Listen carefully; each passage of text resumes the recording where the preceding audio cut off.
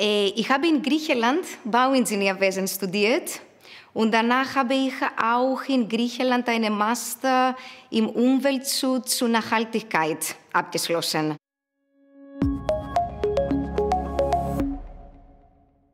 Was den Beruf betrifft, erstmal, äh, ich habe mehrfach überlegt, wieso ich tatsächlich eine Bauingenieurin heute bin. Das war dank meinem Vater. Wir waren, als ich jung war, ab und zu auf der Baustelle. Äh, ich hatte damals natürlich nichts verstanden, aber er war immer, immer so fasziniert, dass jemand von nichts, von Erde, was äh, herstellen kann.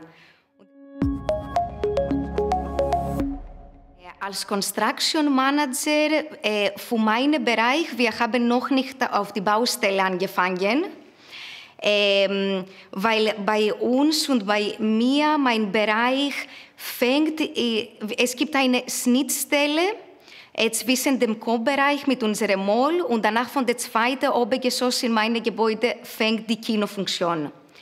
Also derzeit, wir sind immer noch in der Planungsphase für die Kinogebäude, aber wir sind fast zum Ende. Und parallel dazu, die letzten Monate, sind wir beschäftigt mit Ausschreibungen, die Baufirmen zu beauftragen und on Board zu bringen.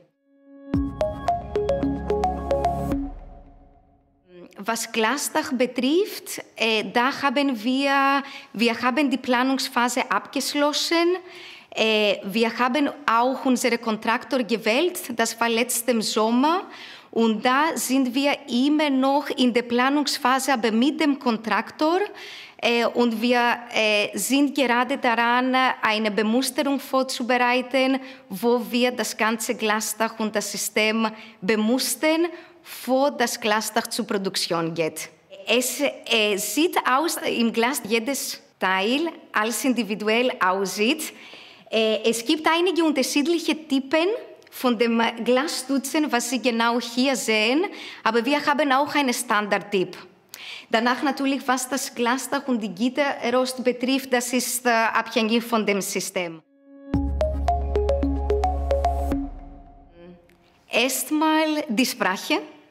Das kann, werde ich nie vergessen, weil äh, in äh, ich war etwa zu naiv, als ich in Griechenland war. Ich dachte, dass die Sprache kein Problem wäre. Das kann ich auch heute bestätigen.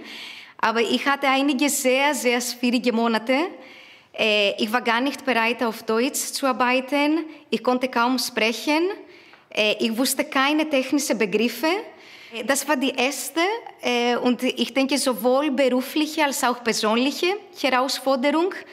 Danach im Projekt bisher die, die größte Herausforderung wäre unsere Fassadebemusterung, äh, weil war das erste Mal, dass ich, dass, dass ich was tatsächlich und wir was tatsächlich mit dem Team aufgebaut haben.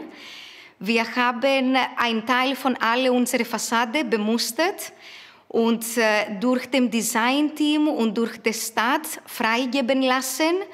Ja, das haben wir, das haben wir geschafft.